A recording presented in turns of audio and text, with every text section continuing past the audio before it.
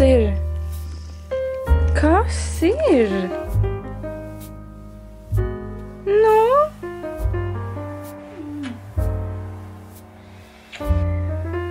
Nu? Es šodien strādāju no mājām, un es domāju, ka tas par lielu vlogošu, un šī būs tāda jautra um, work from home diena. Pašlaik mana, mana dzīves vieta pašlaik ir ļoti nekārtīga, bet tas ir tāpēc, ka es atkal pārvācos. Es atkal pārvācos, man liekas, gada laikā šī būs. Tūlīt. Trešā reize. Gada laikā tā būs trešā reize, kad es pārvācos, un, ja godīgi, man joprojām mašīnā bagāžniekā stāv lietas, ko es neesmu atnesus no iepriekšējās reizes, kad pārvācos šeit. Jā, bet tas ir cits stāsts. Tas ir cits stāsts, un tas nav šodien stāsts. Vienkārši gribēju pateikt, ka es nezinu, man nav iedvesma kārtot visu, zinot, ka es to visu pakošu. Tā kā te ir maza izgāstuve. Es esmu sociālo mediju projektu vadītājs. Ir angliski, man saka, social media manager. Tā kā tā, un I love my job. Man ļoti patīk.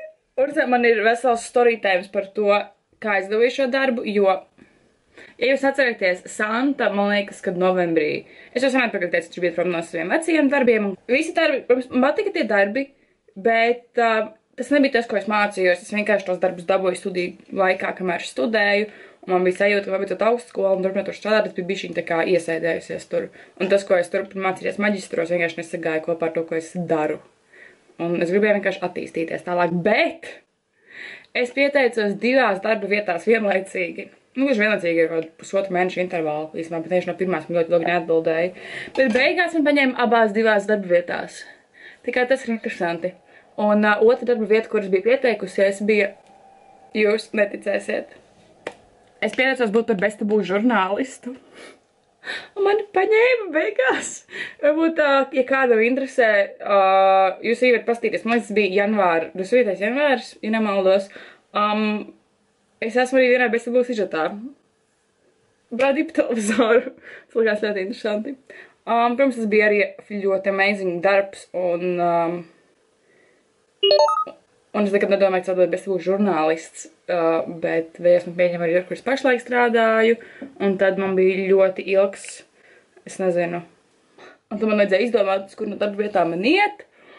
Es izmēģināju visu, es rakstīju plusus, mīnusus lapiņas, es pat biju, man draudzene dzīvēja taro kārtis, tā kā tas bija grūts lēmums, bet, um, jā, es nezinu, es gribu teikt, kurā uzņēmumā es tieši strādāju, Jo es atceros, ka man bija stalkers pirms pāris gadiem, um, kas varbūt skan smieklīgi, bet man bija bail vienai kaut kur pārvietoties. Un vienai braukt uz lekcijām, un uh, jā, tāpēc es nezinu, es gribu teikt, kur tieši strādāju.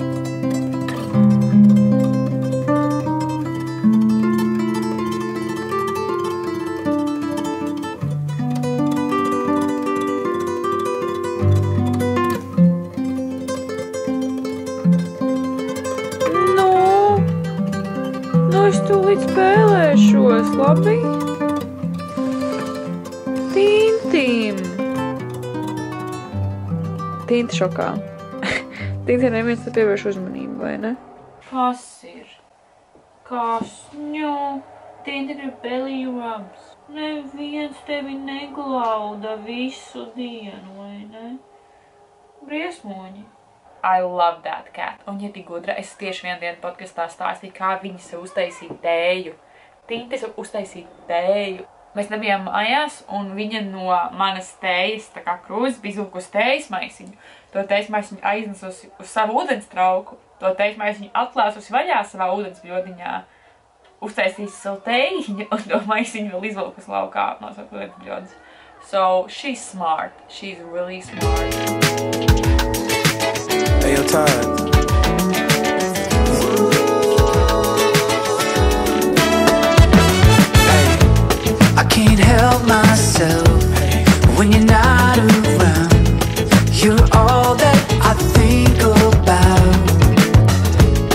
It's not waste of time when we take our time. Stay under the covers, yeah.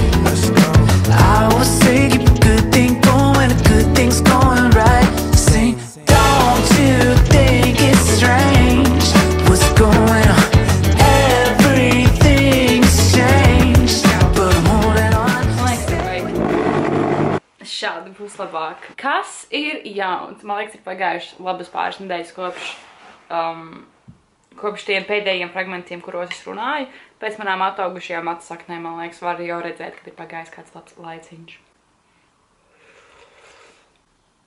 Es mīlu zupas. Mm, mm, mm. Ah, Es atrodos Rīgā. Es pārvācos. Um, man ir ļoti daudz neizpakotas kastes. Un es pārvācos. Man šķiet, ka jau ceturto reizi uh, gada intervālā es jau sevi sauktu par profesionālu pārvākšanās ekspertu. Šodien ir piekdiena, es šodien strādāju no mājām, jo man ir lekcijas. Pašlaik man ir uh, mazs starpbrīdis lekcijās. Un um, vienkārši pusdienu pārtraukums priekš sevis. Bet drīz man sāksies darba sapulce un paralēlies arī lekcijas. Es nezinu, kā es to savienošu. Es esmu tā darījusi, kad es sēžu darba sapulcē, un man tā kā ir lekcija, tad es vienkārši nomutēju lekciju, skaros sapulci, tad man kaut ko vajag lekcijā, man tāds tinta piečurāja divānu, tādēļ viņu tīrīju pirms tam. Viņu vajag sterilizēt pēc iespējas ātrāk. Bet es gribēju pagaidīt, kamēr esmu kārtīgi pārvākusies, lai viņai nav vairāk stresa vienlaicīgi. Bet jā, es dzīvoju Rīgā. Crazy. Also, mīlu, kas saka, maniem draugiem bija tāds, ah, tagad dzīvos Rīgā. Mēs sakīsim kaut ko darīt. Es dzīvoju divas nedēļas Rīgā. Ja vienreiz neesmu tikusi savus draugus. jo visi ir tik ļoti aizņemti. Sorry. Lekcijā sākās jauns priekšmets par projektu. ā, Vadīšana radošajās industrijās, un tie, kas nezinu, man ir ā, bakalaurs radošajās industrijās, pagājuši pabeidzu. Un man ā, pasniedzēja ļāva nepiedalīties, tā kā neklausīties lekciju, viņa teica, ka tas tā, nu, jo šodienas pirmā lekcija tikai ir ievads radošajās industrijās. Un ir bakalaurs radošajās industrijās. Un tad es biju virtuvē, sildīju savu zupiņu, kā jūs redzējāt, es dzirdu datorā. Sāta, varbūt tev ir kāds komentārs par šo, un es vienkārši raķets ātrumā skrienu pie datora. Es arī īdā pajautā tā, ko tu, kas tev ir visvairāk palicis atmiņā no tām radošajām industrijām, no studēšanas man tāds, vienkārši errors. Jā, jūs redzat, man ir mans ritenis. Es ceru, ka es vairāk ar viņu braukšu. Pagājušā vasarā tikai divas reizes, man liekas, braucu kaut kur ar riteni. Viņš tā bija Jelgavā, bet es dzīvoju Iecavā pagājušā vasarā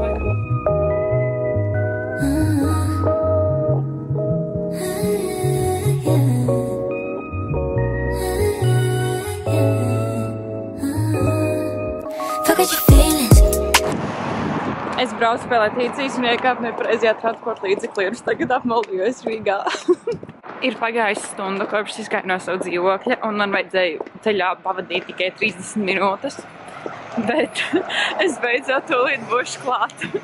Es tikko atnācu, un kāpēc man nokrita papēdis? Es esmu kurš pirmo reizi uzvilku ielās. Show me you want it. You've been a fan. Ain't no more talking. Need you to back back.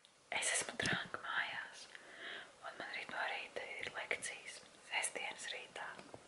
Un es ceru, ka uz viņām pamodīšos, bet es neesmu pārliecināta. Un tinte man guļ pie kājām. Es viņai ieliku ēdienu, nomainīju ūdeni, bet man liekas, ka viņa nojauš, ka es neesmu pa pilnu rubli ņemama pašlaik. Labrīt! Es nepiecēlos uz tām lekcijām.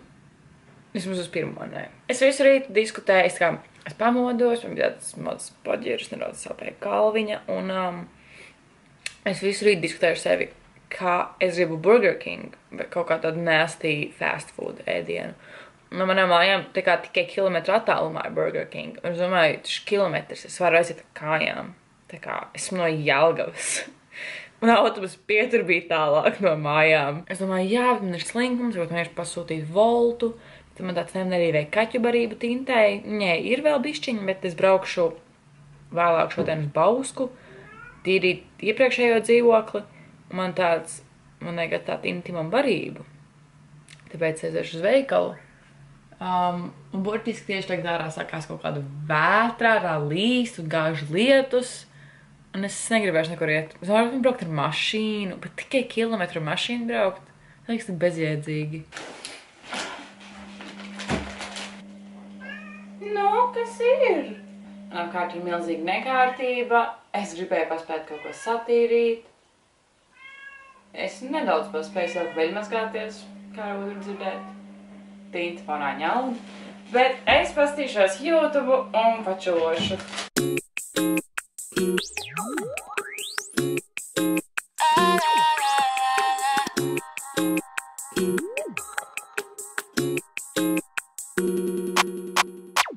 pačulošu. it's all a simulation, I'm set then there's no need to fuss about it.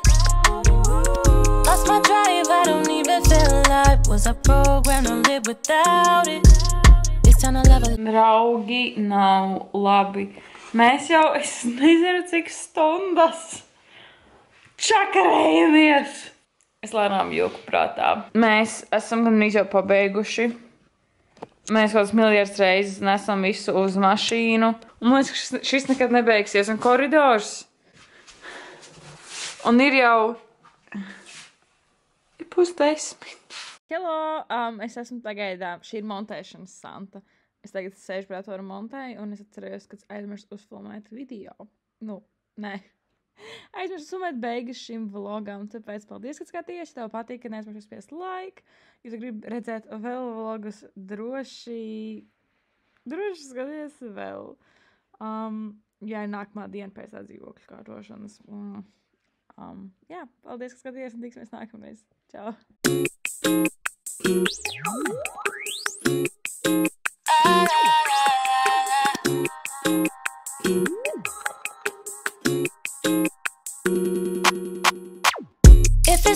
Simulation, I'm set it, then there's no need to fuss about it.